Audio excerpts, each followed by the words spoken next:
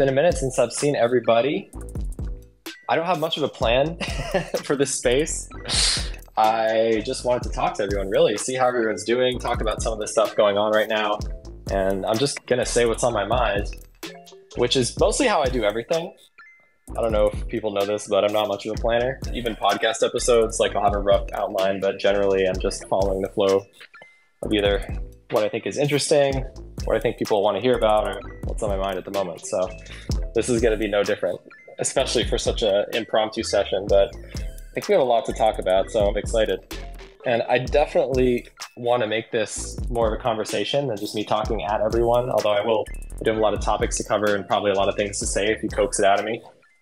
So anyone who wants to be on stage, be part of the conversation, definitely encourage you to request and come on up here. I don't want to be up here all alone. But yeah, with that said, I think wow, what a what an interesting time. These are my favorite times in the crypto space. I've been through a lot of different cycles in this crypto universe ever since the first cycle and what we're feeling uh, right now is sort of emblematic of a time that has been felt before many times, which is like maximum despair, maximum hopelessness, people all just kind of like whatever whatever things they're telling themselves to like cope with a little bit of market downturn has been turned for a lot of people into full on like, oh God, is this it? Is it all over? It's not, of course, as it wasn't before. This is still the fastest growing industry out there. And this, especially Helium, is one of the fastest growing projects out there. And so, of course, no, nothing is over, nothing is ending. And these are my favorite times because uh, a few reasons. First of all, these are the moments when builders just get to build without all the noise. I think it can be super distracting to be watching price charts and watching hype. And on one hand, you're building something, it's really exciting when the hype is going crazy because it's exciting to get people to use what you built. But at the same time, super distracting, especially when for some of these projects, what you really need to do to be successful is to just heads down focus. And so I'm like a heads down focus type person, very much an engineer. And I really like the quiet moments where we can just sit down, build, focus on thinking about what needs to be next and how we can make things better. And it also another reason I like this time is because like that max pain inflicts like motivation. If you're like me and you really believe in the space and you really believe in the merits of decentralization, and if you believe in the idea of why we need to build what we're building, then I don't know, there's something about feeling knocked down that just really brings out the fighter in me and I think a lot of other people too.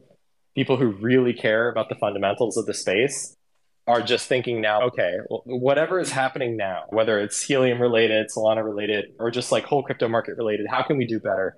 How can we build stuff that makes the value of our space so dead obvious that people won't have to think twice next time? People won't have to consult media headlines to decide whether or not they think Helium is a viable project, or Solana is a viable project, or even Bitcoin is a viable project? How can we build things that just speak for themselves, that are so useful, they're so much better than what's out there, that people are just convinced just by using it? Kind of like the iPhone. That was a moment when a lot of people went from oh yeah like a computer and a phone whatever to oh shit this is really useful and it doesn't really matter what anyone else's opinion is about it because i see it and i'm using it and it's just better and I think in the crypto space, we have a lot of progress to make to get to an iPhone moment. I think we're still at like under 100 million people in the world who've even use crypto and probably way less that are active, although growing very fast. And there there are some really key problems no pun intended but i think key custody is one of those things it's just not solved yet. Like you you can either use an insecure hot wallet in your browser or an app on your phone which is better but still not great or a ledger. And there needs to be an in between for people. No one's parents are going to use this stuff until it's as easy as apple pay and as secure as apple pay right? Um, if we're talking about just like payments and just day-to-day usage. So there's a lot of progress to be made to, to get to that point. And I think that's something that builders in the space have been aware of from the beginning, but it's just another one of those things where it's just there's just like a lot in the way. There's a lot of weeds that need to be cleared before we can get to that place. And it's just crazy to step back and think how nascent that problem alone is in terms of solutions. Like the Solana phone is basically the first solution of a mobile phone paired with a secure element that can store your private key, right? Basically, an unhackable, I guess you could call it cold wallet inside of a phone. That that is, in my opinion, the level of security and ease of use that's necessary to bring mass adoption in the general crypto space.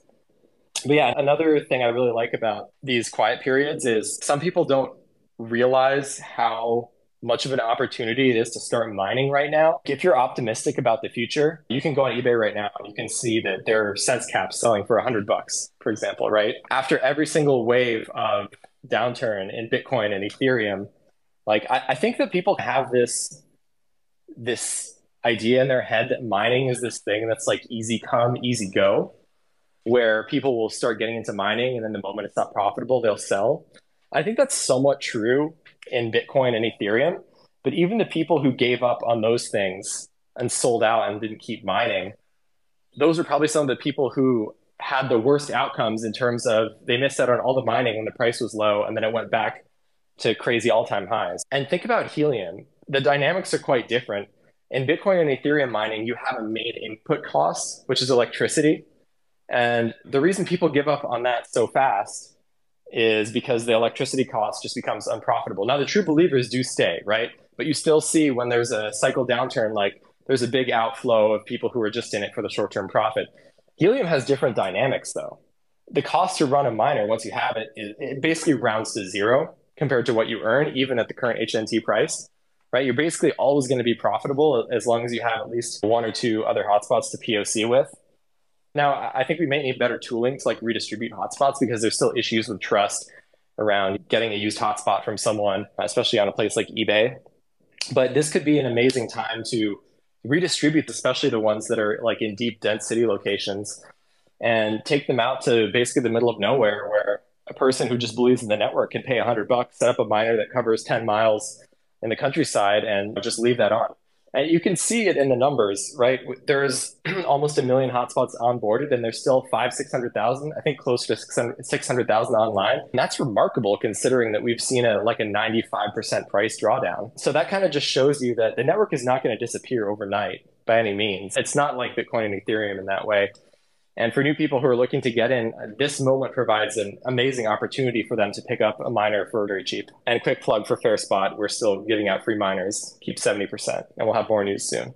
So let's see, we have a request. All right, Ed. Welcome up here, Ed. I'll stop my monologue for the moment and, and say, hey, how are you, Ed? Hey, what's up, Arman? How's it going? How are you feeling? How are things in, in your side of the helium world? Uh, I am busy. Basically, the whole family has that whatever RSV or something is going around. Everybody's affected. So, other than that, it's been like you said, heads down. What can I do? What things are still building in the middle of crypto winter that that still sound good and are appealing? and some ideas. And I'm amazed at the, like you said, in the silence, the clarity of some things that emerged. You were talking about the Solana phone and I was thinking about, man, it would be amazing if led if there was a ledger device that just natively worked on Helium, so you could sign your transactions via Helium. And I was like, oh man, that would be an amazing thing. I think it was it happened when Ledger, I don't know, retweeted something that Helium put out the other day. And I was like, yeah, that'd be a great idea. I'm curious what you mean by that because Ledger does work with Helium as of now. So all like basically when you sign those transactions that you would no longer have to do it through your computer that it would just communicate and sign them over the Helium network. Like that would just you'd be able to plug in via that. Oh, yes, absolutely. This is an idea I've toyed with over and over in my head. I think it's such an awesome idea and an underappreciated use case. Let's sign crypto transactions and send them over the Helium network. It's such a perfect application because the transactions are so small, right? They're the perfect size to fit in a Helium packet and an IoT packet. And it's it's just fast enough, right? It doesn't need to be like microsecond real time or whatever. Zero setup and low power consumption. The battery life can be incredible, and the security is high because these devices can be limited. Like Helium devices can be limited to doing a very small amount of functions, just like any hardware wallet. So basically, just like you're saying, almost imagine a ledger with instead of a USB port on the side, like a Helium LoRa chip inside it. You could do so much cool stuff with that. Yep. And I was talking in New York with Jose and we I was sharing my idea for the Helium network, my little device idea, and it wasn't until a few weeks ago, and then I thought about this Ledger application. I was like, I think that this is the better idea. And I, I was like, it bummed me out to say it to myself, but I was like, I think it's way better. It'd be so cool to get that done. And then if there was a Type C, then device and we supported that, then we could get on to the like more like very quickly like payment transactions like at a gas station type of application, which would be very, very exciting as well. Yeah, like I have an endless backlog of, of helium related ideas in my head, like almost all of which I don't pursue just because it's not my natural, I guess it doesn't fit my skill set the most. But one is definitely something very close to what you're suggesting, which is like a credit card sized thing. And just to preface this, we've seen things that are like credit card size, but much thinner than a credit card running on helium. These, I think it's NanoThings, the trackers. So we know that can. Yes, those are amazing. Those are amazing. Like a nano thing size tracker, except it's the size of an actual credit card and the shape of an actual credit card, has some sort of like e ink display and like an NFC chip and a LoRa chip in it, all of which is totally feasible to fit in that size of a device and is just like a really simple, like basically a stable coin credit card that you could use to pay in certain places. So it could sign transactions and it could show you the balance in real time, just like numbers, right? Numbers in the middle of the card, just showing your current balance. Super, super simple. It does one thing and one thing really well. I love it. Say less. Yeah, seriously, can someone please steal these ideas and make them? I don't have enough time to do all this stuff. I guess that's why people start funds and companies and hmm. Maybe I should do something like that. I don't know. So I'll set up the lofter back to you. What like in the middle of winter, what are you building or what do you want to talk about that you're building that keeps you busy? Yeah, no, I've been in uh, a heads down study mode, really, more than anything. Just pure learning because I have a lot of vague ideas for what what could be built, but I don't really like to pursue something unless I'm like 98% sure that A, it's a really good idea. B, it will potentially be profitable and sustainable as a thing. Um, C, it wouldn't be like overly complex. Like it has to meet some maximum level of complexity. And D, it's suited to my skill set. Uh, and I guess E, it has to be new. Like I don't really like to do things that have been done before. Or if I do, it's got to be a lot better in some key way. So I guess like for example, FairSpot was a hosting service which should have been done before, but like we we radically changed the percentage, which kind of changes the whole game and changes all the incentives for the host.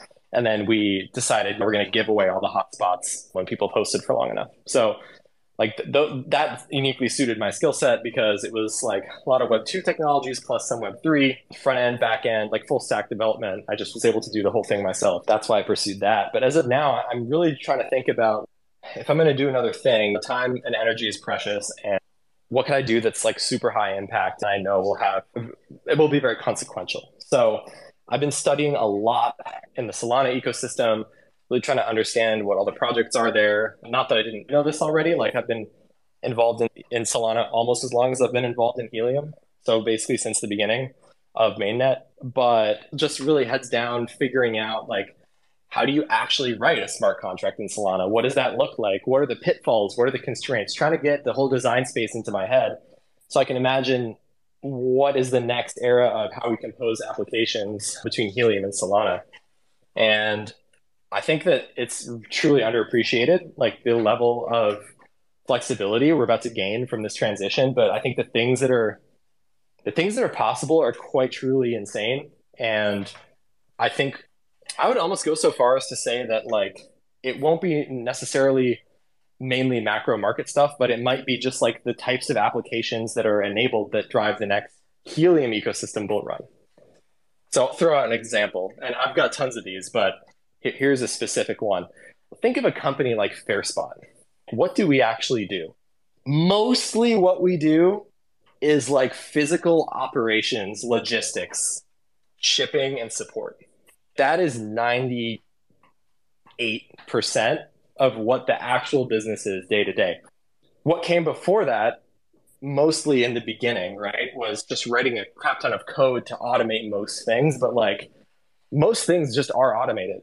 For example, payment calculations, pay, like paying host takes 30 minutes every week, right? That's all mostly automated. All that needs to be done is just confirming the transactions, verifying that all the amounts are correct and stuff like that. Even applications, reviewing applications, super easy, super streamlined. Preparing and shipping hotspots, super easy, super streamlined. Click a button, slap the shipping label on, put it in a bubble mailer, and take it to the UPS store or whatever. These are all very streamlined. But at the same time, like all that stuff that's being done, so preparing the hotspots, shipping them, and doing support are like the least valuable in an empirical sense parts of the business.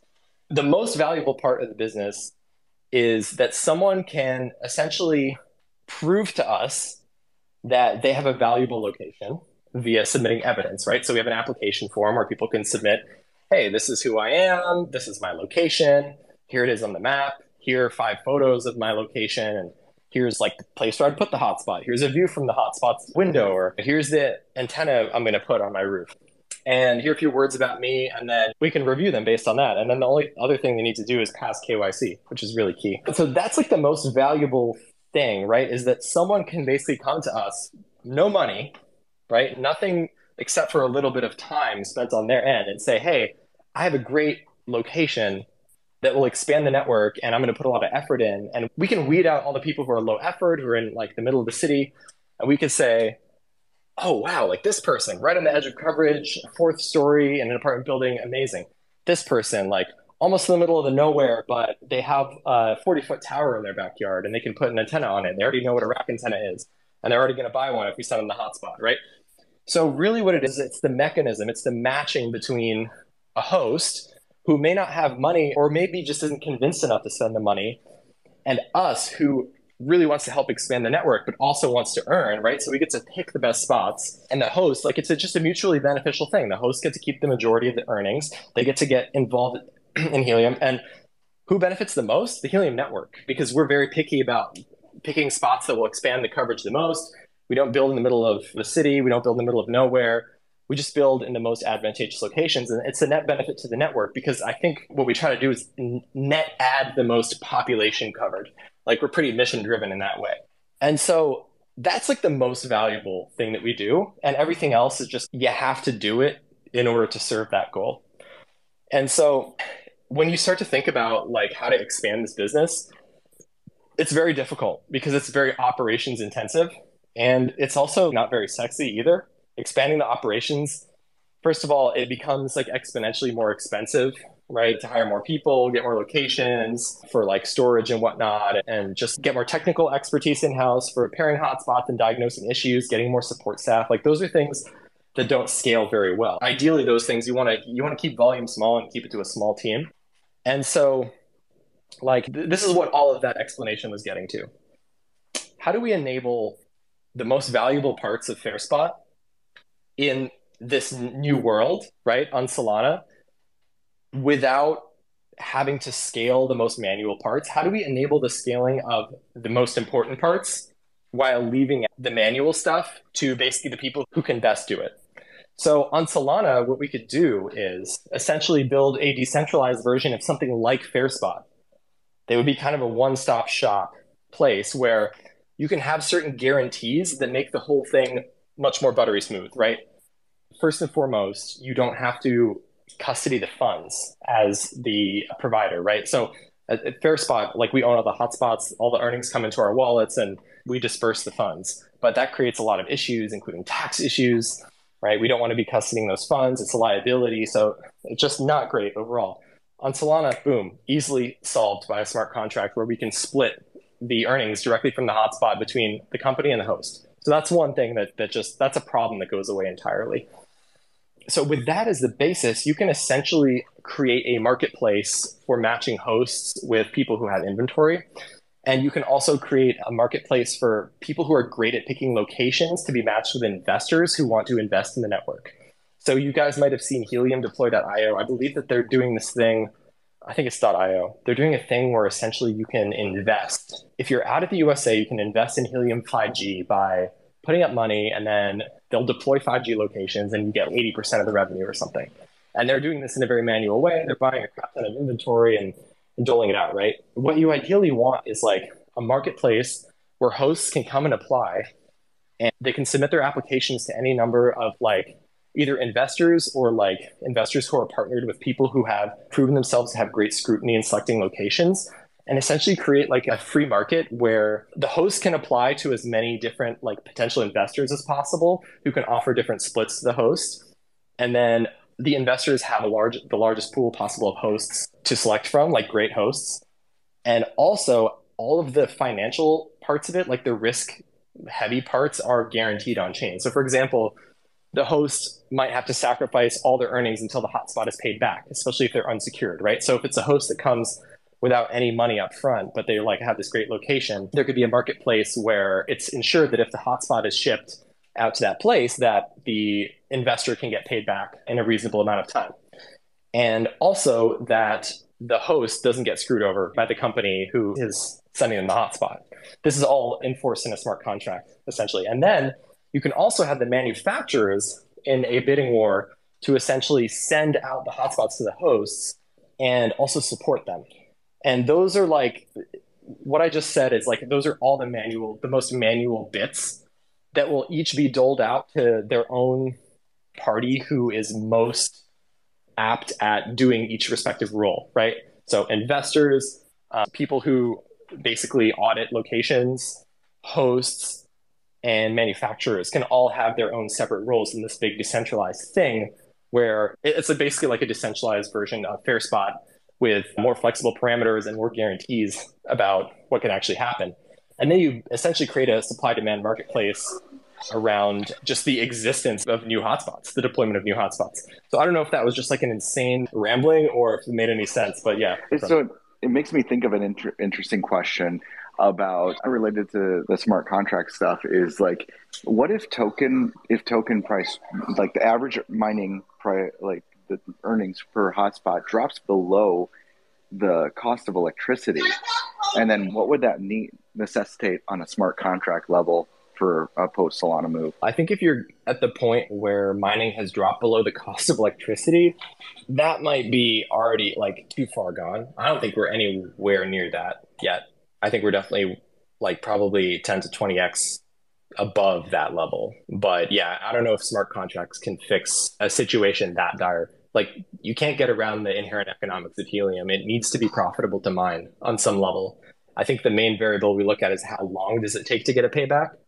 On 5G right now with an outdoor radio, you can still get payback in two to three months, which is amazing. On IoT, I don't know. I think probably in the best case, I actually haven't looked at the numbers, so I'm not even going to say, but it's going to be months, right? Minimum of months, unless you're buying a used hotspot for 100 bucks, which is what I was getting at earlier.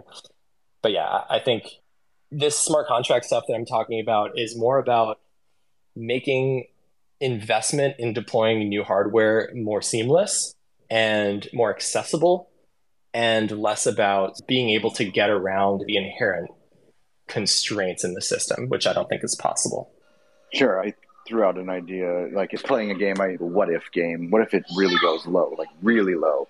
And then necessitates that. I'm like, well, you could just write a smart contract to just basically redeploy those hot, hotspots. Like somebody could step in and be like, yeah, I'll pay for everybody to do that logistical thing. I'll pay you, owner of this hotspot that's not earning anything anymore, to to ship that to another place and I'll give you 20 bucks or whatever it might be. And then you could have all that codified in the smart contract to, to ship it. And then you're still growing the network. I think that'd be a super idea for a grant to support some development. Again, all these ideas of I can't do this myself, but that would be an insanely awesome thing to, to take forward and see in the ecosystem. And I know that there might even be some software alternatives that, that could, could take that on as just something they're really interested in.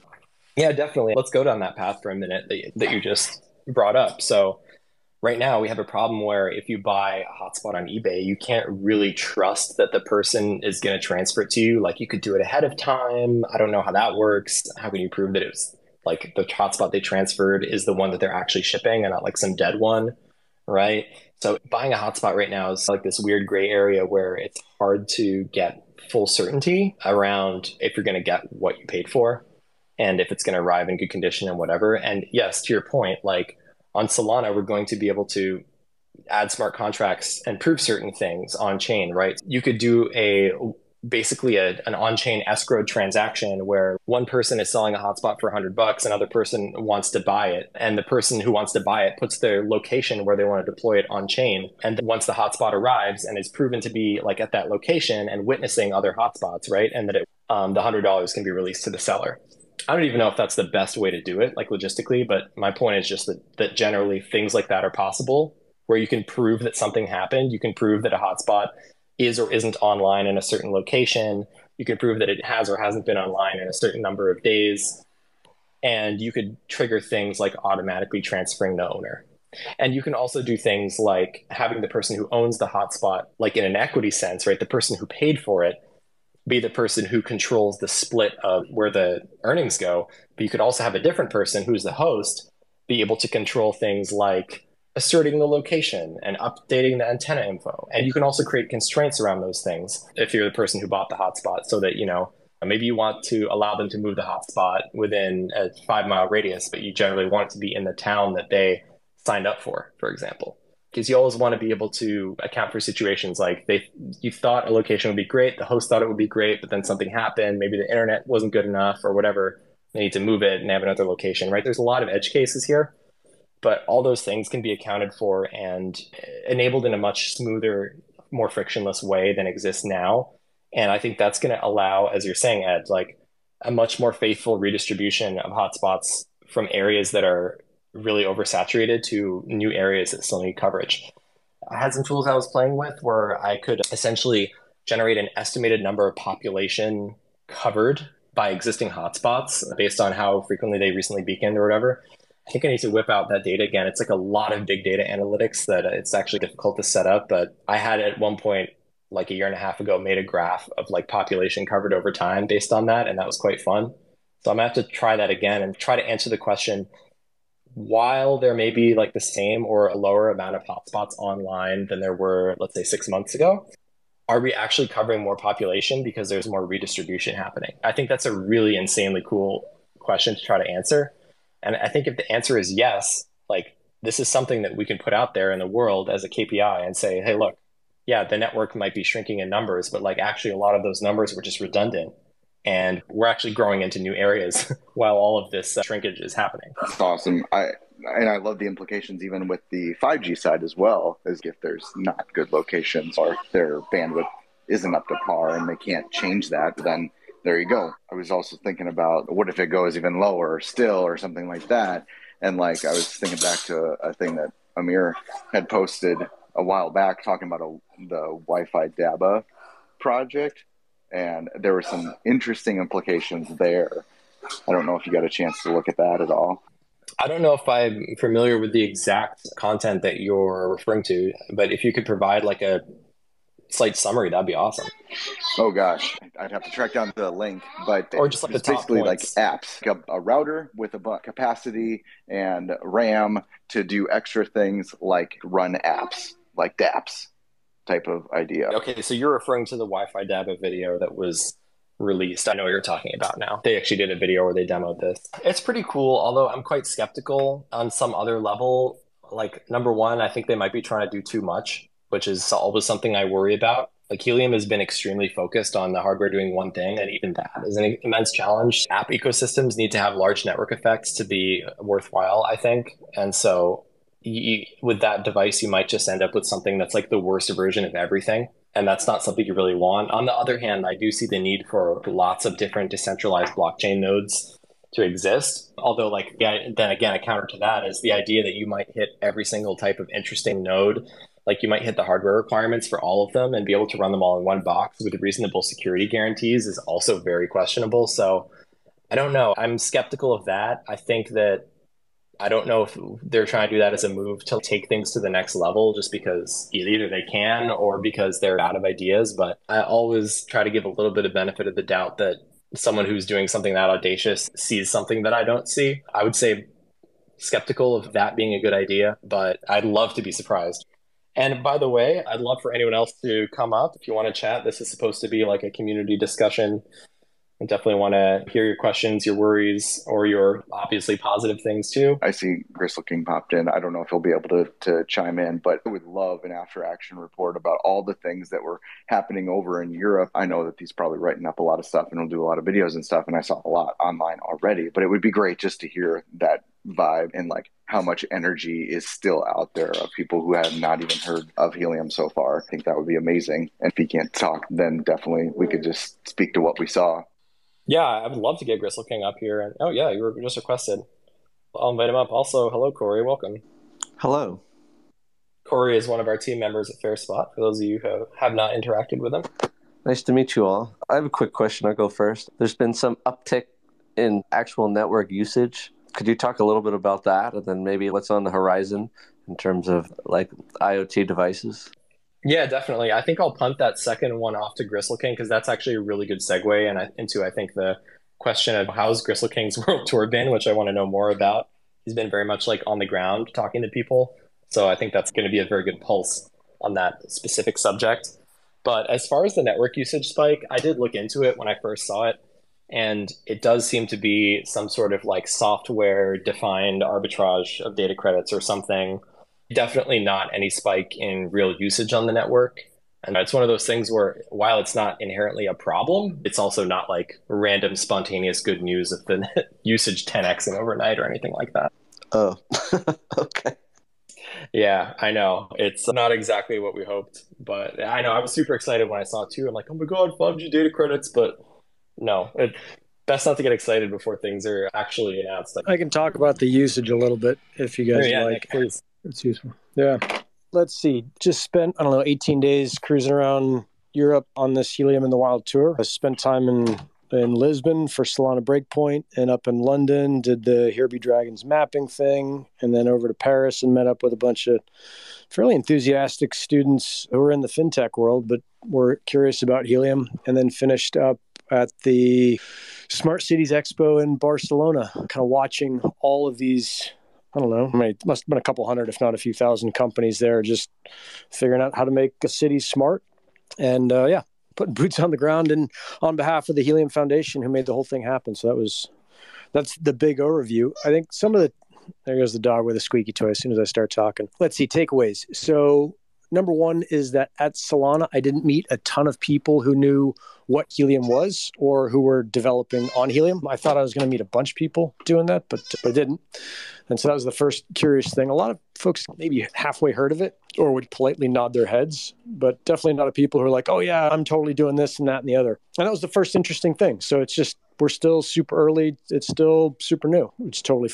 I did meet one guy on the hackathon train on the last day who is a Solana dev, and he was psyched to work on the Here Be Dragons mapping thing, which is taking basically a helium mapper and then making a game out of mapping various points. So the general idea is that you would take uh, points in your town, and this would be a fun way to do a helium meetup. It, it's not a business kind of yet, but you take a bunch of points in your town. So in San Diego, get on the Coronado Bridge and then go out to Mission Gorge or go to Balboa Park or wherever it is.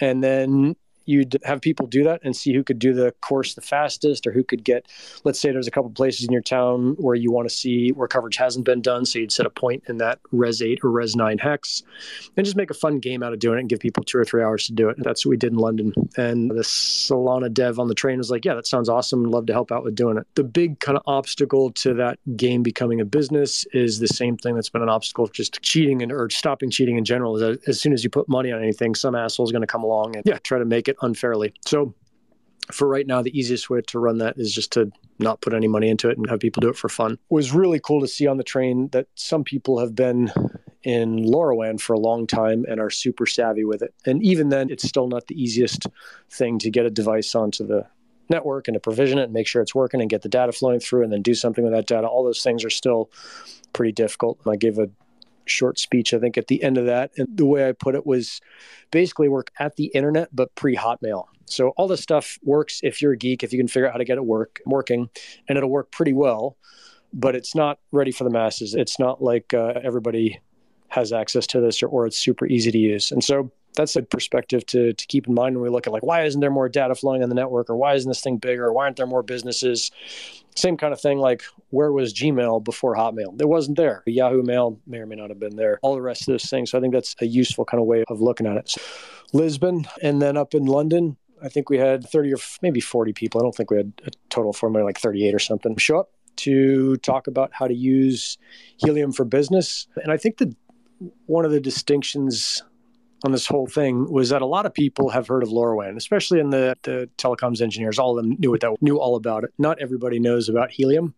And I think I'm trying to think who said this, but that's totally okay. That's to be expected, right? There's tons of private networks that none of us know about that exist and are being used. It's fine if not everybody knows about helium yet, as long as they know about the techno the LoRaWAN side. That's fine. But we did Oh, and let me go back to Lisbon. There was a guy down there, I think Miroslav Marko, might get his last name wrong, with Heliotics. He's got 1,200 helium devices running on the network right now. And he's out of, I want to say, Slovakia. And he's doing a ton of work with helium. He's super psyched on it. He's got stuff, everything from measuring water going into buildings. And I guess in Europe by maybe 2024, might have that date wrong, every apartment over 500 square meters I think that might be a big one, is going to have to have what is it like basically like utility monitoring at least once a month. And so he's pushing to do that with LoRaWAN. That seems like a pretty clear use case where you're going to get thousands and thousands of units coming online. And maybe it's not 500 meters, maybe it's it's something else. But I think that was cool to see on the Euro side. They're pushing hard into that and doing it. There's another guy there who's a big telecoms guy cruising around the northern Mediterranean and he's now pushing down into West Africa and is going to cover Sierra Leone. I think it's like 5 million people with 28 hotspots. So, really cool to see. Definitely more professionals. These weren't like uh, folks like me who are not technologically savvy. Um, they're definitely tech savvy folks, but they're building businesses on helium and they understand the problems and where it is in the ecosystem but yeah, they get it and they're going for it. And those guys are just like, dude, this is so crazy to have access to this thing. People don't know what they have yet. And they're taking advantage of that kind of general ignorance and going for it and building their business as fast as they can. Let's see, skipping back to London, we had this guy, Bill Clee from Novacine, come down. He's been doing LoRaWAN for something like 10 years. And he talked about how he built up his business doing BMS, which is building management systems. Gave a, a pretty cool speech at the end of the day there and just saying, look, there's, I forget how much you know, everyone's throwing out numbers about how many devices are going to be online, whether it's a billion or a trillion or you know, some crazy amount, whatever it is. And he said, look, there's an awful lot of money in this market to to deploy sensors and give people a better objective of what's going on in their world, whether their world is a building or a city or a neighborhood or a house. And so that was super cool. Let's see. We had a panel with Linxdot coming on and talking about kind of some of the stuff that they're doing that's coming up. They've got some really cool stuff coming down the pipe. Sky from RAK came on and talked about what they're doing kind of sensor wise. Just a lot of energy about people like, hey, what this is what's coming down the pipe in the next six months to a year. Definitely as far as I could tell, there's nothing coming in the next week or next two weeks, and probably not by Christmas.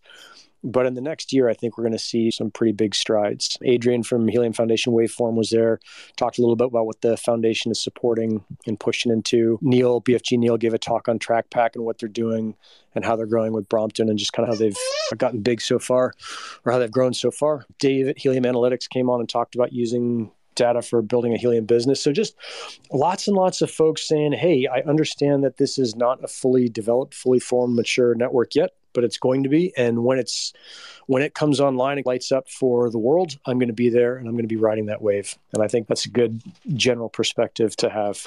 Let's see. The Paris thing was interesting, just because you see kids who are. I think we had four four students, maybe three, and then another YouTuber, uh, came in, and we just talked about helium. And these were guys who are into DeFi, more finance backgrounds, and just saying, "What is this thing?" We're trying to decide if we want to get into it, and just seeing that kind of interest was pretty cool. It wasn't like diehard LoRaWAN people. It wasn't diehard crypto folks. It was folks who are just like, "Hey, there's something new here.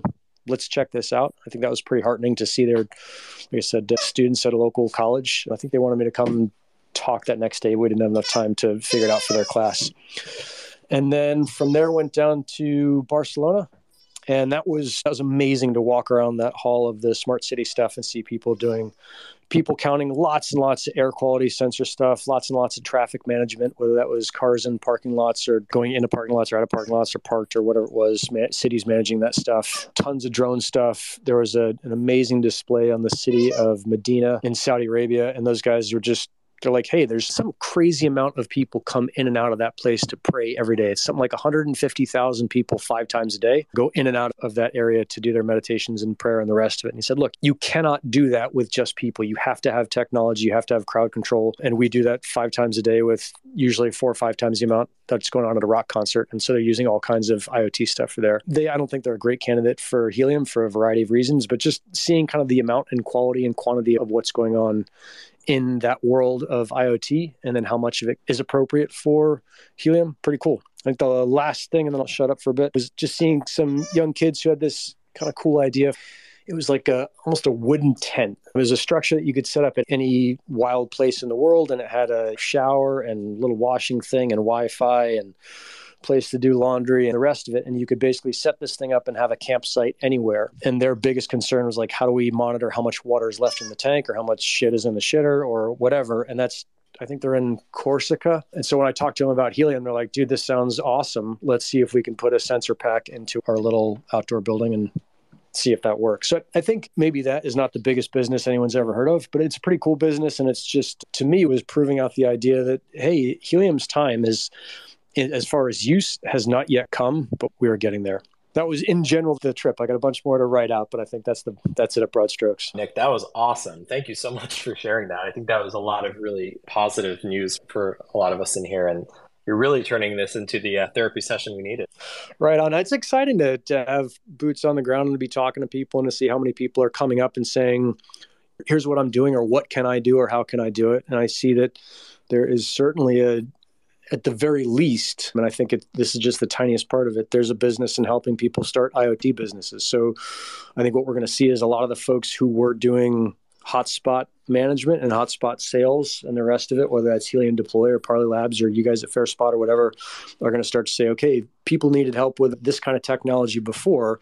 Now they're going to need help with sensor technology and understanding how to build that into a business and how to see all that data and visualize that and then ultimately make decisions off of that. That's where we're going to see enormous growth. The constant message was like, hey, don't worry about Solana right now. Don't worry about the token price. Don't worry about the general bear market. Don't worry about building right now. While everyone else is freaking out, Like, get your head down and build, and you'll be way ahead of the curve for the summer of 2023.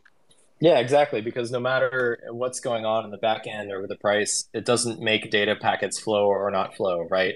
The network is there, it works, and people who are starting businesses today are the ones who are going to be huge once the next cycle rolls around. A lot of people underestimate how much time it just takes to build a solid foundation to be even able to take advantage of the type of growth that is offered by the crypto industry. I mean, imagine getting something even twice as big as the previous wave of helium growth. That's just going to be overwhelming for any company that has any semblance of demand for their product, especially if they're building hardware. Yeah, yeah, no, the amount of use cases that are out there for just for IoT is incredible, and I think it's it's really across this whole blockchain and meat space. We got Mike Horton on here who runs the GEODNET project, and that's another thing that kind of LoRaWAN is. I, I, think they call it deep tech. It's like the tech that none of us really know about, but everybody uses. And so what they're doing is the GNSS stuff, centimeter accuracy. We're seeing across the board that this tech is bubbling up and into everybody's lives, and the decentralized part is making it so that everybody can step in and get their piece of the pie and, and participate at whatever level they want. If you just want to run a hotspot on your house, that's cool. The earnings will never be what they were, but you can still participate in the network. If you want to build something for yourself or your property or your building or your rental property or whatever, you can do that. If you want to build a business offering that service to other people, you can do that. What this movement is doing is allowing more access points for anyone in the community to enter in and start and participate in it. And that's that is super heartening. And so that means that for me, I just don't give a fuck about any of these token prices. It's there's no time for that shit. It's the time is to kind of learn and build, and that's what we should be doing. Yeah, and I want to commend you for basically spreading that message since the beginning, and especially recently, just really focused in on that. And you haven't deviated one bit from that mission. I think we really need your voice here to continue pushing that message of, look, guys, what are we here to do? Are we here for tokens? Some of us were, and now they're not here, right? this space would be a lot bigger if it was six months ago, and all the people who were just in it for tokens were also here trying to get some alpha or whatever. So no, we're here for the actual network. I've been here since before the token was worth anything and I'm still here. But I want to take the, conversation in a couple of directions because I think Nik, I think you opened the door to a couple of interesting things, and I hope you have a little bit of time to stick around. But let me know if you don't. I think there's two things I want to touch on. First is just taking a step back from all the on the ground stories you just shared and summing them up into sort of a more macro observation. And the second thing I want to do is have a more honest talk about what still needs to be improved in the IoT network and where we are. And also for anyone out there who's like in the Helium is all about 5G camp, I want to stress that I think we're mostly going to be talking about IoT today. So that's it's definitely not all about 5G, folks. It's IoT is still here and is still the dominant network as of this moment. So first of all, I just want to summarize everything that you just said, Nik. And a meta observation. You said this at the beginning of your little monologue. There is where we are on the curve of adoption is very reminiscent of not even early cell phone days, but almost like car phone days, where obviously landline telephony has been around for a long time and has been very useful since the beginning and became widely adopted. But like the first people using mobile phones were not obviously your average people. There wasn't even that much coverage. It was just the people who gained the absolute most from it, the people who really had some sort of massive cost or time savings. So, for example, people who are running businesses who had to be at all sorts of meetings left and right, and like the more meetings they could take per day, the more successful they could be those people would pay tens of thousands or hundreds of thousands of dollars to have car phones that connected to the very few towers that were around there, or they would carry around this huge briefcase size thing. And to 99.99% of people, that either seemed ludicrous or just, I guess, cushy or just not necessary. Didn't relate to their daily lives. And it didn't need to. It, was, it wasn't for them yet. And those were the early users that led us to where we are now with ubiquitous wireless technology. But after the car phones was like, even then, tens or hundreds of thousands of subscribers with these like bulky cell phones. I think we're kind of like maybe in that realm and like tens to hundreds of thousands of subscribers. Like that's like the metaphor for where we're at with the Helium IoT network, where the people who are super excited about it right now are the people who are like, as you said, holy shit, we need to track every single utility meter in all of Europe for all these apartments. And like, what are we going to do? This is going to be insanely expensive and then they learn about helium and they're like okay as long as i can get one packet per month through the network this thing is going to be remarkably better cost profile and remarkably easier to deploy and just higher reliability than literally anything else out there it'll probably reduce our labor and expenditure by 10 to 100x this is incredible we're going to build out everything on this for as long as we can or for as reasonably large of a footprint as we can based on the coverage and there are also the people who just have some really insane niche that the Helium IoT network enables. And you also brought up a couple of those. So that's where I feel like we're at. We're definitely not at the point where you could just, I think I've brought up this example before, but go to 7 Eleven and buy some useful little device, like a little tracker that, that runs on Helium, and you just don't even think about setting it up. It's just, oh, I'm going on a backpacking trip this weekend. Like, I'm going to grab a few trackers for like my water bottle, my uh, backpack, and my keys. Just so, you know, I haven't put trackers on them in a while. So I'm just going to pop into 7-Eleven, spend five bucks, grab a few trackers. Yeah, that like that. We're not at that level yet, but that's where we can be one day, I think. So, uh, Nik, I'm interested in your thoughts uh, about what I just said. Yeah, I think all of that is is right. I think there's, I mean, there's some really interesting stuff about the 5G versus IoT piece. I think, you know, I look at this and it's not like one versus the other the what Nova and Helium Foundation is looking at is like how do we win this whole kind of telecom telecom wireless industry thing? And they're making a bunch of bets. And it seems like the 5G stuff is really interesting in the US but outside the US IoT is what they've got and it's what they're going with. And I mean man it was like everything from Lynx cat the wild cat where we don't think about this. So there's a this Slovakian company who's tracking these lynx and I think they're tracking them between France and Spain and so people, those of us who don't track wild animals, don't think that if you put a, an LTE of a cell phone on an animal, like if it goes from one country to the next and it's got to switch coverage, you go from the U.S. to Mexico, you need a whole different phone plan. But with LoRa, with Helium, you don't. You could travel all throughout Europe and you're totally fine. And just the things that it opens up in ways that are not maybe appropriate for everyone yet or useful for everyone yet, but is what's coming is it's just this kind of endless stream of holy smokes, that works too. And that's interesting too. And it's not perfect. LoRaWAN isn't for everything. You can't stream video on it, but the amount of things that it is good for and the amount of kind of information and data flow that it will unlock is like indicative of the eventual value it'll generate. So yeah, we're not, we're not at the 7-Eleven point yet. That's a great example, but I think we're going to be there sooner than maybe we think. Yeah, I think we can be. And I think what it's going to take to get there is to just be honest as well and critical about the things about the network that still need to be improved. And so, you know, I'm, I'm like a deeply technical observer of the network. I'm not necessarily on the ground hearing people's individual use cases or anything, but I do understand what parts of the network are working and are not. And I also feel like, kind of like with early cell phone technology, when it was really unreliable, we're still kind of there with the IoT network. And I view Helium's IoT evolution in three stages, and we're on the cusp of stage three. So, stage one was when it was essentially a proprietary protocol that was not related to LoRaWAN really in any way. It was it was called LongFi, and it wasn't compatible with any of the LoRaWAN protocol or any of the devices out there. Like it was kind of an insane idea of let's build this entirely new standard that's like more perfectly suited to the these devices, right? The hotspots they can do a little bit of extra stuff above what LoRaWAN can do. But I think the team quickly found out that like you can't just build a brand new standard like that. You're going to have to spin up hardware supply chains, and you don't have the familiarity of an, a whole ecosystem of people who are familiar with the software. I think they realized that that was just a no go, and they sacrificed some functionality to switch the whole network to LoRaWAN. This is like 2019 we're talking about, maybe early 2020 once the switch to LoRaWAN happened, the amount of usage, uh, potential users on the network shot up by basically infinity percent. Whereas before, when it was just LongFi, there was almost no chance of getting any sizable users. It just wasn't. It just wasn't going to happen. And then after transitioning to LoRaWAN, then it was suddenly possible to access this broad ecosystem of device makers and companies looking to deploy and consultants who are familiar with the technologies and sources of hardware manufacturing and funding, like just basically opened up all the possibilities. So that's stage two. Stage three is just making the network work as advertised, I think. And stage two, I think the problem with stage two is they fixed the protocol, but the blockchain side of things was just not there yet. And the software stack was not mature yet. And so we're, we're still in that. So, like, data transfer accounting has never been good enough. I can't speak much to the actual reliability of getting packets through hotspots, although I know that's been subpar too. But like the um, accounting of actual usage on chain has been, it's not scaled essentially. It has not been able to scale. And that has caused a lot of issues, especially with like multi packet delivery. Like I see it in my own experiments when I'm playing with things. You can't necessarily get a packet through all the hotspots in your area ever. it's just not really possible. And I think that's not even just the blockchain, but like the Helium console and router just can't scale to the, the next level of growth that we need.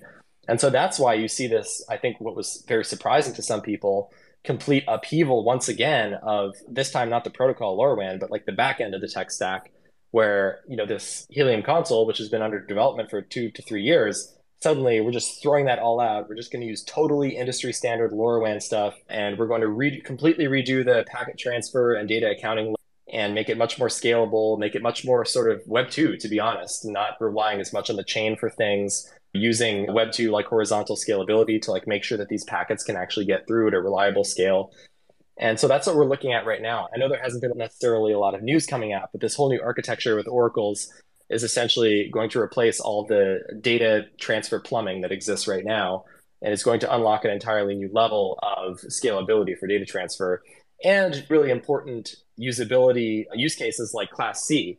And for people who don't know LoRaWAN class c is basically it enables a LoRaWAN device. Okay so for those who don't know like devices on the helium network today they can't really receive data unless they send it first right? So let's say you have you want to make like a smart light switch with helium and let's just say the light switch itself is connected via wi-fi but the light bulb is connected via lorawan right? So you want to be able to screw in a light bulb anywhere and have this light switch work with it right?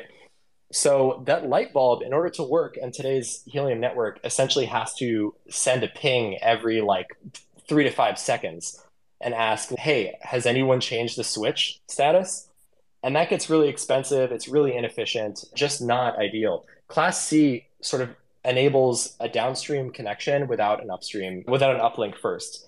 So the light bulb can just sit there and listen. Someone can flip the switch and it can send a message out from a hotspot and it can hit that light bulb and it can turn on. So that's like a use case that isn't even possible in the current architecture, but will be in the new architecture. And so I think these things that we need to talk about them and be honest about them that like the state of the network in terms of actual functionality. And they work. It works enough for a lot of projects to start building. It works enough for a lot of projects to do proof of concepts and to reach like a small to medium scale like a thousand or ten thousand devices maybe. But it's not at the point where it can reach a hundred thousand or a million or 10 million or a 100 million. And there are projects out there that could reach that scale, like individual projects that could reach the scale of 100 million LoRaWAN devices quite readily. Now we need to enter this sort of stage three, and I know there's not a lot of celebration or fanfare or excitement happening right now, but if you look on GitHub, if you're a technical person, you can go look and see all the work being done. And I think it's going to be a absolute phase shift for what is possible on the network and the amount of growth that can be handled. And I think it's incredibly positive or bullish, as some like to say, that we've reached the point where the problem is that the amount of scalability that's needed for people who want to use the network is the problem that needs to be solved. That is incredibly positive, and that's like the problem you want to have. Yeah, totally. So I think these are like uh, what do they call them? High quality problems. As long as Helium keeps having high quality problems, then that's great news. Like, it's not great news to always have problems, but as long as they're high quality, that's better than nothing. And that's the first big piece. Yeah, totally on board with all that.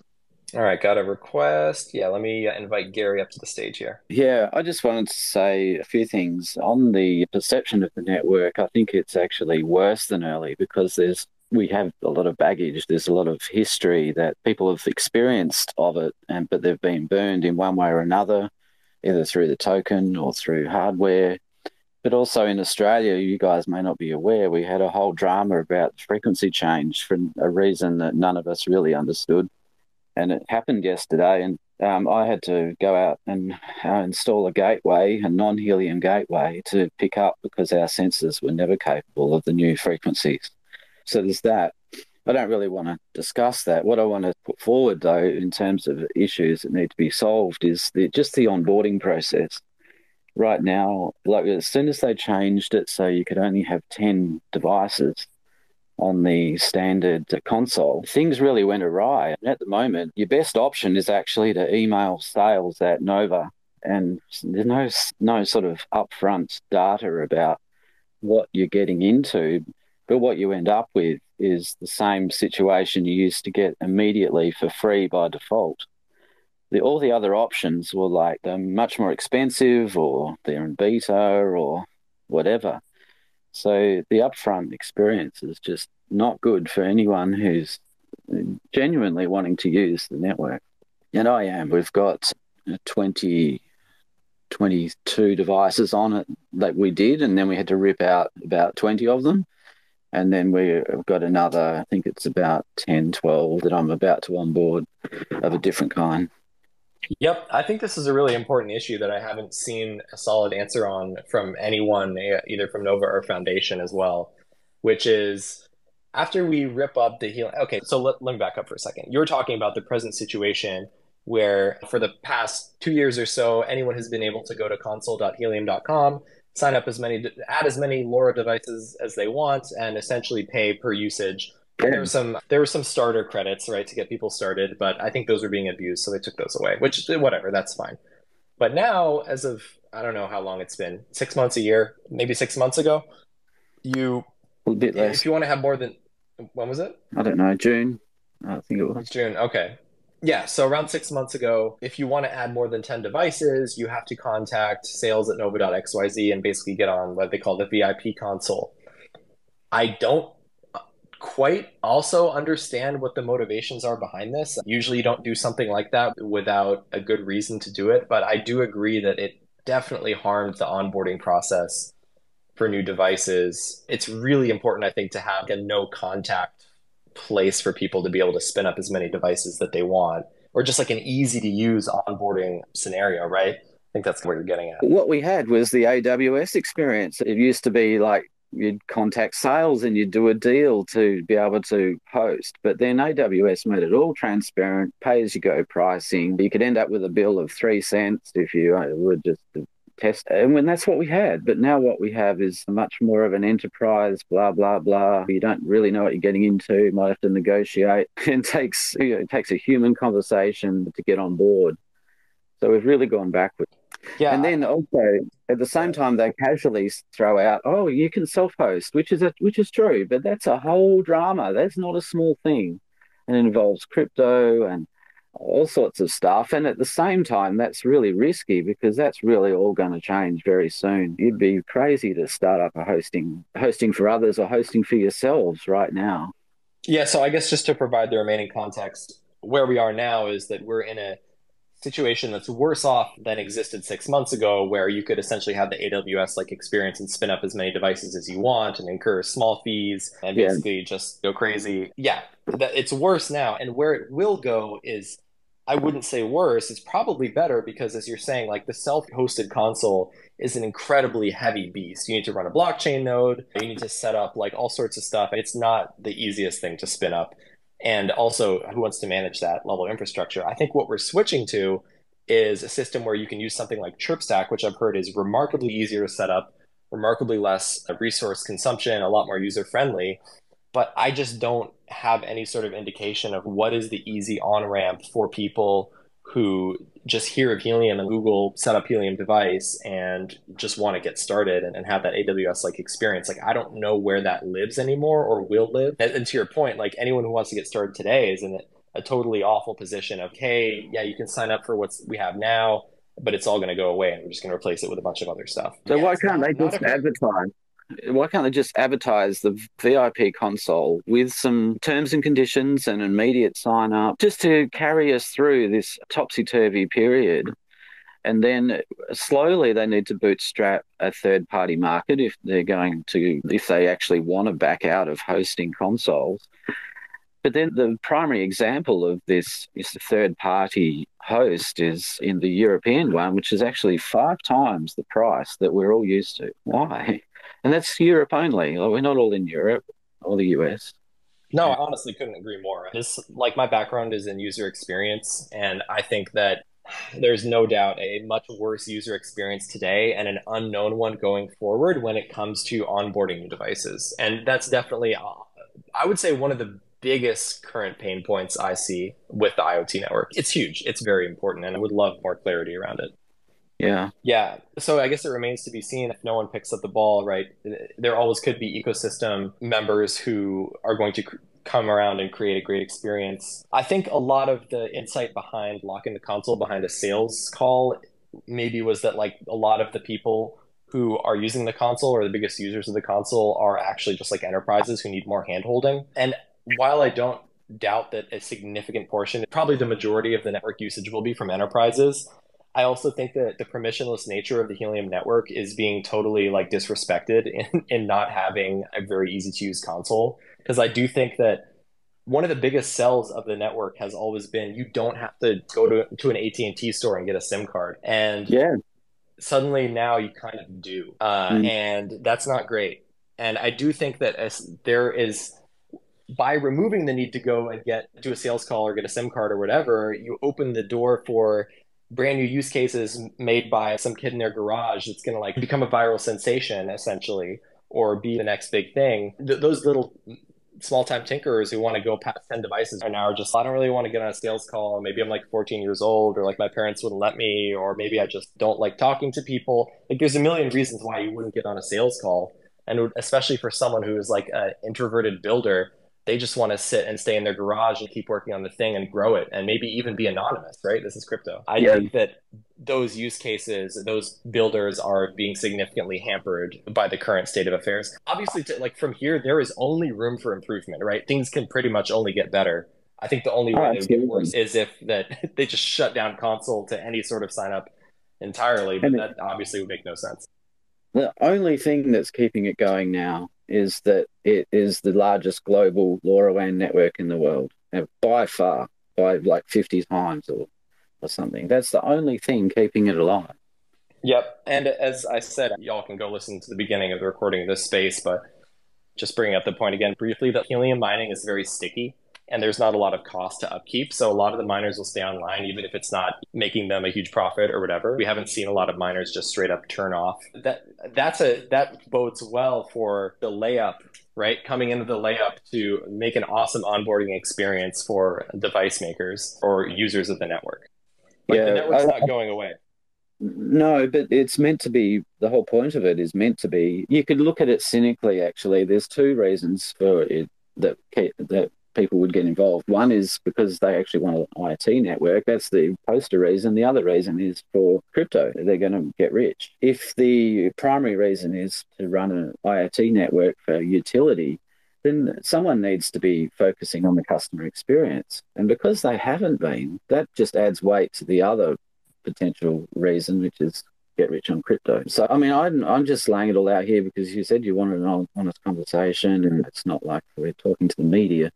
But I'm just surprised how long it's gone in this situation right now with such a horrible customer experience. And I, I, keep thinking, oh, they're going to make an announcement. They're going to make some marketing. There's going to be some public, transparent sort of onboarding experience. But it's been months now and nothing's happened.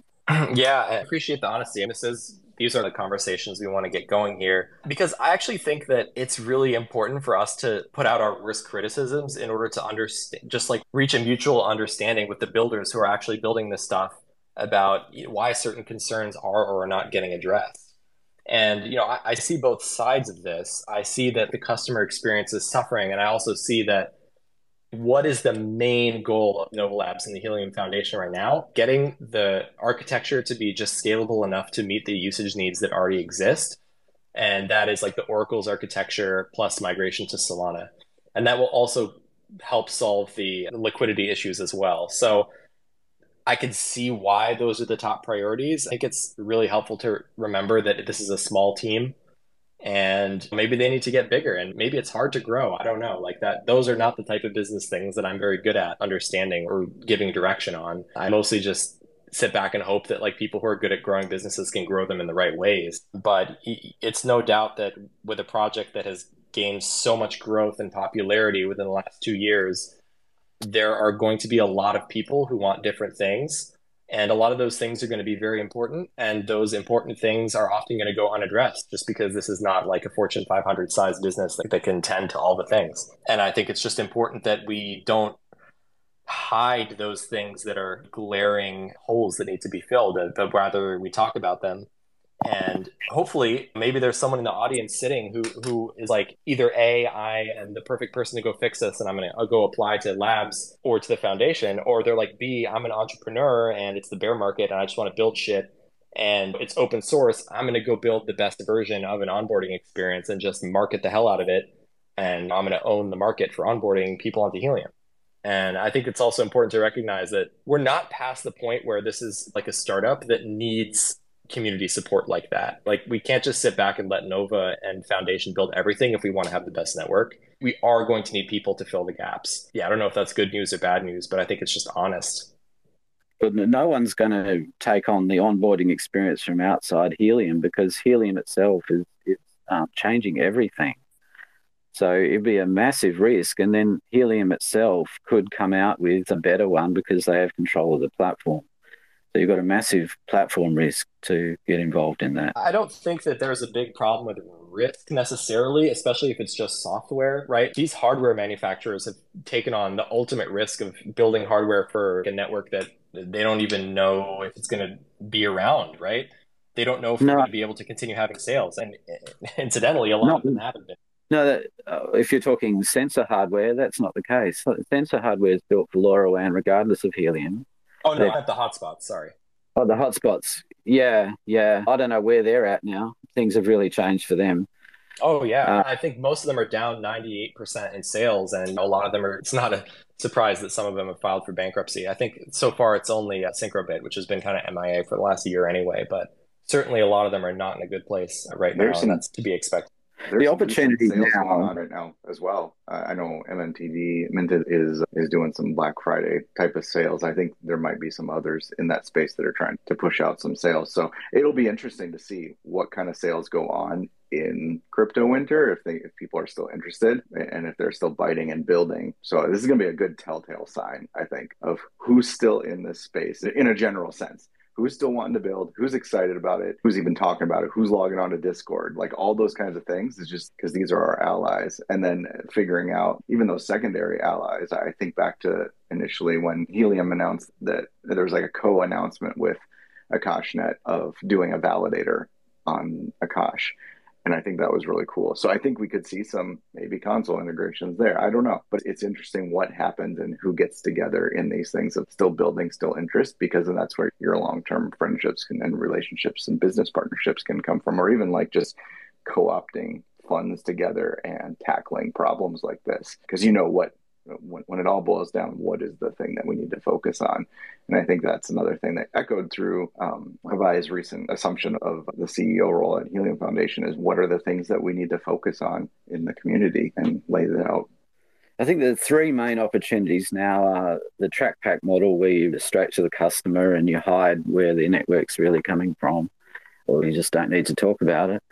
And the other one is a solution provider, and another one is the if you're Senet or Actility where you roam onto it. I think that's where the business is now. But the potential is so much bigger than that, and that's where they really need a developer relations person, customer experience person. It's like they're not even there. Yeah, basically, what we want to see is is a better than original Helium console type onboarding where it's just super, super easy. And I be honest, I don't have a lot of experience with ChirpStack or the other LNSs out there. I don't really know what the onboarding experience looks like. I don't know how to integrate those with like data credits or if they are integrated with data. Like, I don't really even understand how the new flow of getting from a credit card to packets on the network that you paid for works. Not really well, sure. I know that it's going to be much easier on Solana, but I don't know how it works with the new LNS, like self-hosted LNS architecture. Yeah, but uh, yeah, the reason I don't get excited about self-hosted, it's good as a backup and it's good for certain enterprises. But just think of the whole cloud thing. This is where the whole industry has moved towards SaaS. Sign up for the cloud with a credit card, and you don't have to run servers. No, definitely. I'm not suggesting that self-hosted is a solution. I, am trying to think through the thought process of someone who is trying to build that cloud experience for others.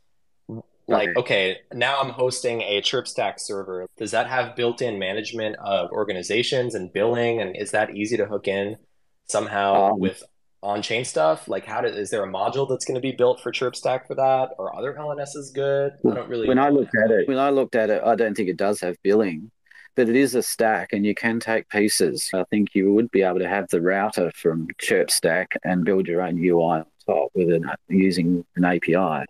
Okay, so it's like a nice backend API that you could use to build something. Yeah, I don't know. I'm interested to see. I don't know if we've heard anything from even Nova on whether there will be a replacement to the VIP console that's based on something like ChirpStack. The, to, to your initial criticism, what we're looking at right now is going potentially from this world where we have the free console that's limited to 10 devices, not free, but open console, and the VIP console to a world where everything has to be self hosted and there's no cloud type product at all. Well, if, that's, if that's going to exist, I don't. I have not seen any sort of announcement. The guy Dal is on the community call. He's made comments to the effect that they don't want to be hosting console. They want a third party market.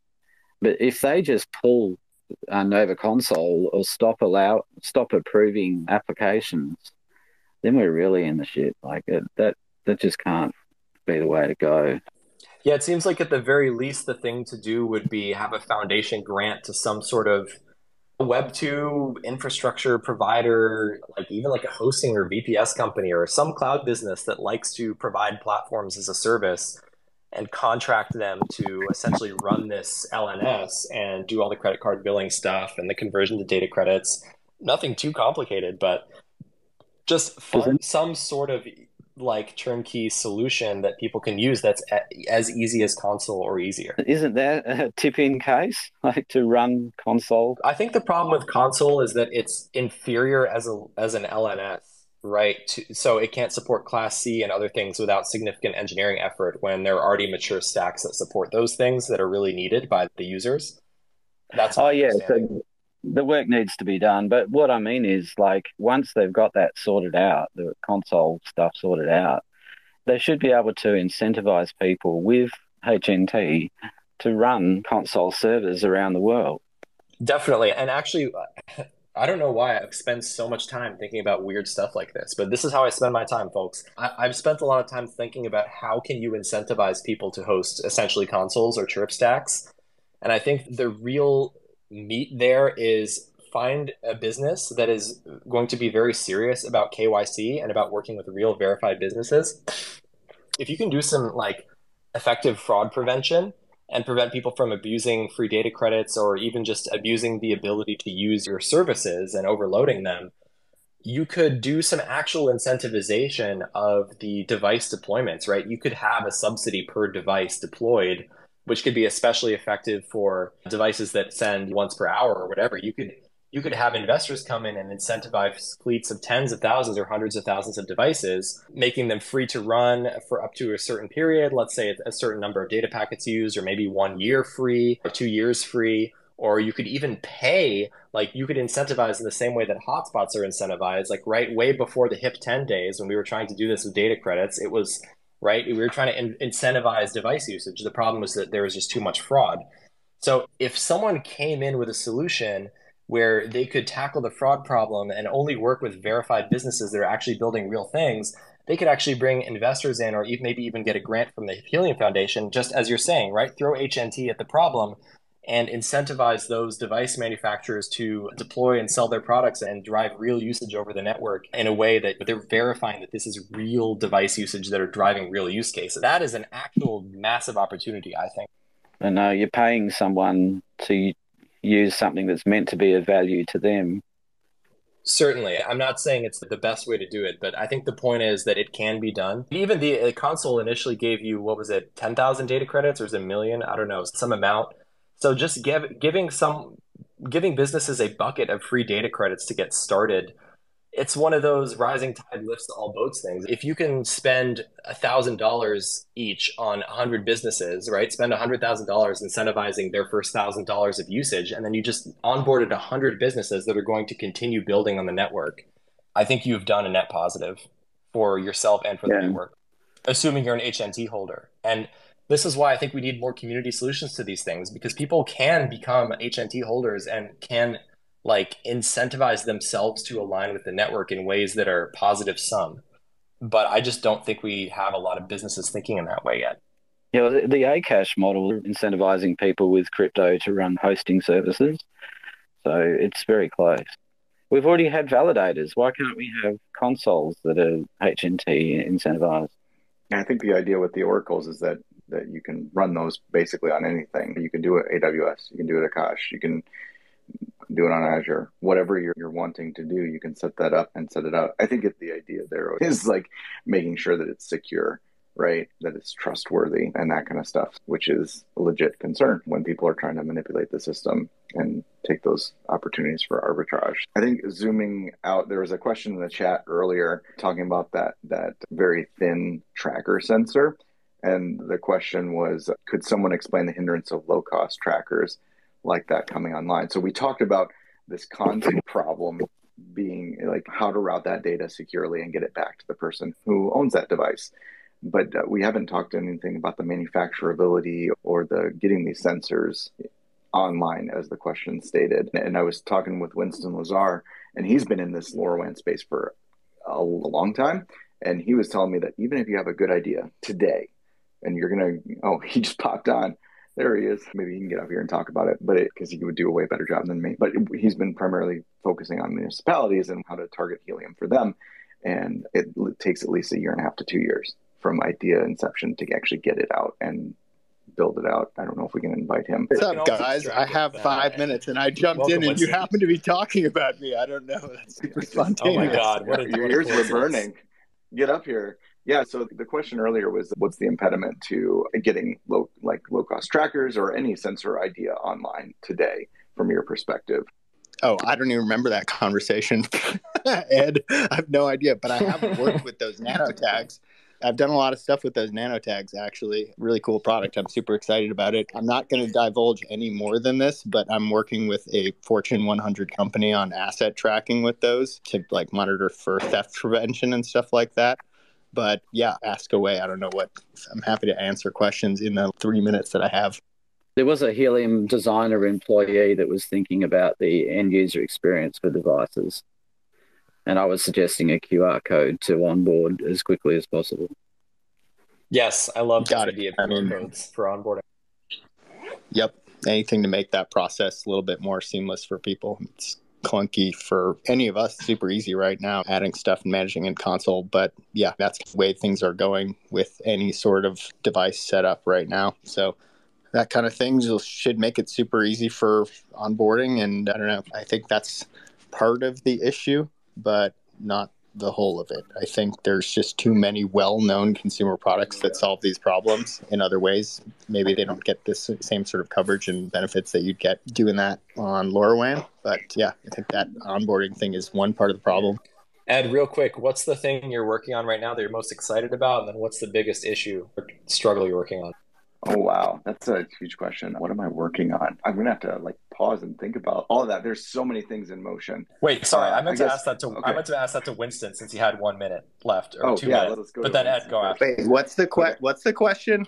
I'm literally in the bathroom, like try, trying to go take a pee before going to dinner. But what's the question? okay, you don't have to ask, answer this. But what's the thing you're most excited about that you're working on, and then what's the biggest struggle? Uh, Okay. The most exciting thing is I don't know if anybody's seen, I have not done any active promotion of this, but working with the city in Shreveport, implementing actually several Web3 technologies, several DeWi techs, as well as Hivemapper. So, in general, that project is super exciting. We're implementing like city wide DeWi for CBRS, LoRaWAN, and Hivemappers. Amazing. It's Shreveport, Louisiana, if I didn't mention that before. All right, and then what's your biggest struggle right now? Oh Besides oh the Twitter Spaces in the bathroom. my biggest struggle. Let's see. It is not easy to do this stuff within the context of the city government. There's just all kinds of extra loop loopholes and things like that are encumbering and trying to get contracts going. So overall, that's it. Also prioritizing part of the reason I'm doing this in Shreveport is because it is a bootstrapped or a city with a it's generally very economically challenged, and so that's part of the reason why DeWi was the answer because they have a lot of the major carriers trying to implement or at least propose. What got our contract started was citywide free Wi-Fi to bridge the digital divide that's how we got started. And then there's all kinds of things that they want to work on. So it's a super innovative team that's implementing these programs, but they're on a bootstrap budget. And so it's really hard to prioritize not just which technologies we implement, but where they're implemented. Wow, you got my mind spinning about all the things that could be possible with town like that. Definitely like installing Wi Fi, helium Wi Fi once it becomes a thing could be pretty remarkably efficient for distributing internet access at a very low cost to a lot of people. Yeah, right now we've got CBRS going and people can go into a public library. There's currently four participating branches. They can just walk into the library and check out a CBRS enabled internet router and get free public Wi Fi. The, the key difference that makes this interesting is they do it from within their homes. So it's not they're just going out in the park, pulling out their laptop, and they can only do it in one certain area they can do it. We've got a coverage map. As long as you follow on that coverage map, your wireless gateway is going to work. And how many users can you share? Oh, we launched it early November. We're our pilot covers over a thousand, but we've got our budget was just approved to five x, and hopefully we keep getting more budget as people get onboarded. And the city wow, so is a population of two hundred thousand, so they actually want to allow anybody in the city of two hundred thousand to do that. All of that being said, one of the other constraints of doing this within a city is that it's political. And guess what? The mayor just got voted out. So I'm a little bit in the dark. There's a runoff. There's two people that are battling for contention in the runoff. We'll see what happens, but we've got some, at least in the current CTO organization, great leadership and great support for what we're doing. That's an amazing story. Thank you for sharing that. Wow. That's some real. Sure. I told you, Arman, we need. I reached out a little bit ago. I told you we need to chat. This is what I was thinking about. Oh, when I reached out. Definitely. Now I know we need to chat. Just to, I don't know how much time you have left, but just to clarify real quick. So you're building out CBRS to provide Wi-Fi to people, including in their homes. So is this? Are they piggybacking on your CBRS connections as their primary internet connection? Correct. Yep, that's what they're doing, and we're using the library's internet, which affords several benefits including we're using child safe filtered internet. Oh, that internet is it's an E-rate internet, so basically it's 10% of the cost of the commercial fiber connections that we would get if we were just to go straight to the carrier ourselves. So that's pretty cool. So you're essentially use, and this is all built on helium, right? I'm really sorry, but it's not. I can have we can have another conversation about why that is we can have another conversation about why that is. But the short of it is dual carrier is not currently supported, and we just can't do what we're doing. The city is incredibly uh, challenging topography. There's foliage that is like 60 to 100 foot pines and broadleaves. Anybody that spent time in the deep south would get us know this right off the bat, but signals do not like trees. So that's one big battle, and we need to have as much control over our radio frequency wavefront in order to overcome that. And dual carrier is a big part of it. Man, I wish I could have done all the LoRaWAN and the CBRS on Helium. The CB, the 5G implementation was just a little bit behind other DeWi tech, so we had to make a late call and change it. Does that mean you're using Pollen, or are you using your own thing? Currently using Pollen. I'm totally vendor agnostic, and frankly, I don't really care about the cryptocurrency component of it. If the cryptocurrency stack enables a more cost-effective solution for the customer, I'm all for it. But it may end up being a blend of CBRS and other Wi-Fi tech from like a Cambium or something like that. So yeah, happy to talk about it in a future space. But I got to go run and get dinner. Thanks for entertaining this for a little bit. Yeah. No, thank you, Winston. We'll definitely let you go, and we'll definitely catch up on that later. Yeah, the last thing I'm going to say before I break is just a plea to everybody to push for more vendor implementations. I'm like Baicells is the bottom of the barrel as it comes to cell tech. Yeah. Have a good night, everybody. good to chat. Thanks, Winston. Wonderful. All right, I'm going to invite up Manuel as well, who just requested. I think I'm going to wrap this up at 6 PT. So, yeah, about 13 minutes, but I want to get a little bit more discussion going before we wrap up. Manuel, welcome. And then Ed, hey guys, if you have things that you're working on and things that you're frustrated about, I also still want you to share. but yes, Manuel, please go ahead. My back's just really been hurting today. Like, I just have a really bad case of spinal, and yeah, it's just been bothering me. I've been going to the chiropractor, but just nothing cures my case of spinal. This is such a troll. Where is this going? I'm just very therapeutic. I'm just pouring out my soul to you. I'm very therapeutic.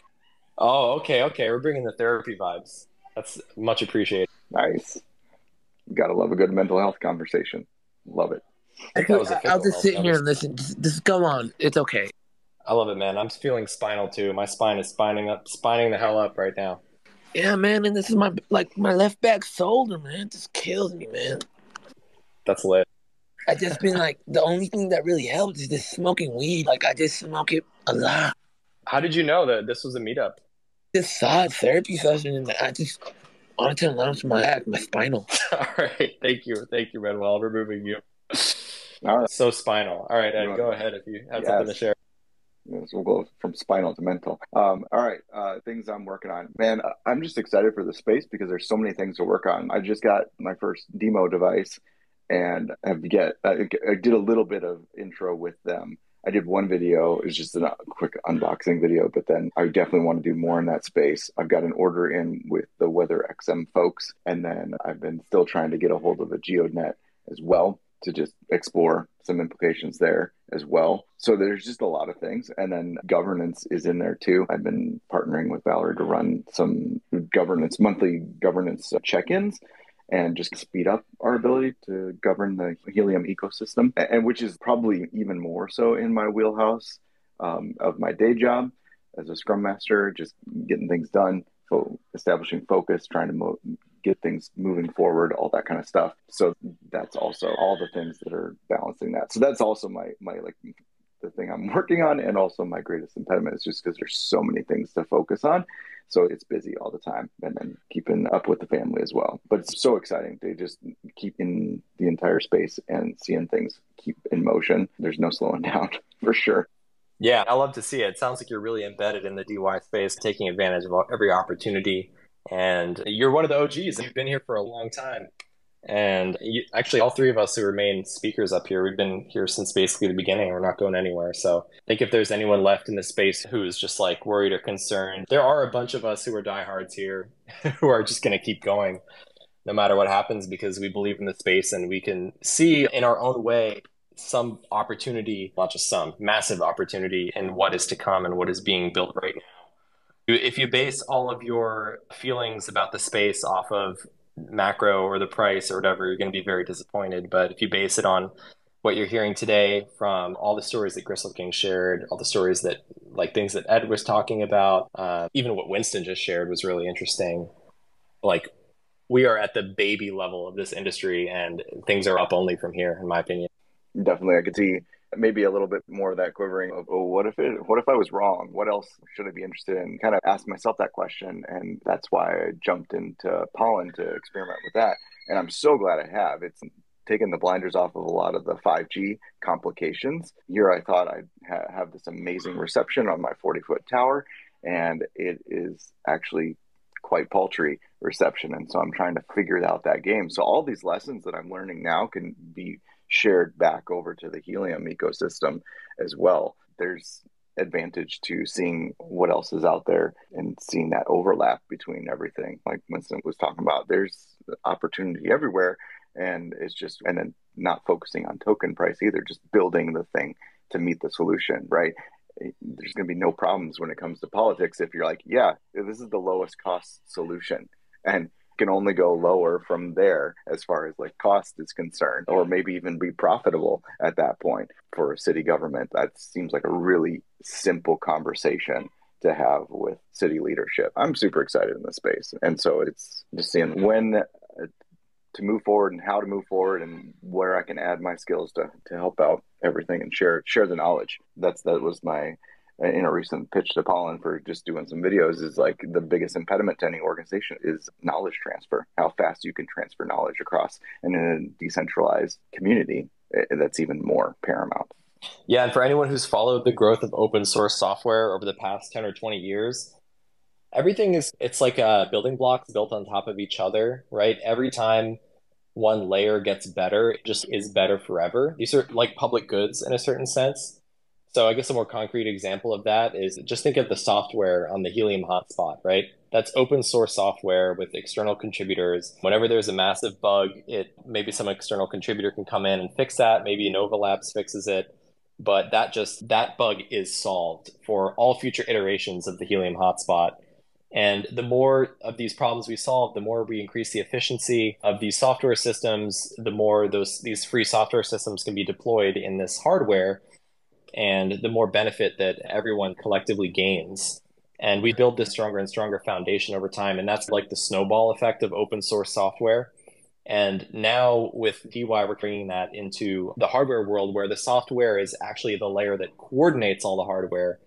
And if you zoom to the end state of it, you could imagine software that just essentially coordinates any type of heterogeneous whether it's IoT or a small cell, into one big network that is sharing the same incentives and that uses the same billing model and can scale basically infinitely and globally. So that's the end state. But I think the thing to look at is where we are now is very far from there. And as long as the builders who are building the open source software continue to be funded, and I don't know who saw it, but Amir posted that Helium Nova Labs has seven years of runway left. So that's pretty amazing. But as long as the people who are building are continuing to build, that foundation is getting stronger every day.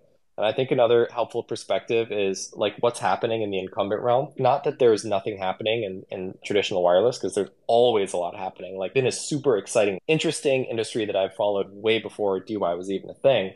There's always something new, but it's generally a lot of competition and not a lot of unification or like building of open source building blocks like we're doing in the DeWi community. And so I think DeWi uh, is improving in a more open and a faster way than traditional wireless is existing. And so as long as that trajectory continues, right, you can see a point where DeWi becomes as compelling and then eventually more compelling than traditional wireless. But obviously a long way to go and you know, we all need to contribute in order to get to that point. And we're a few minutes from closing, so Doomsday, I just invited you up. Welcome. Hello, gentlemen. Just following the progress. Love the team. Love the building out. Just the ear of listening to the direction we're going.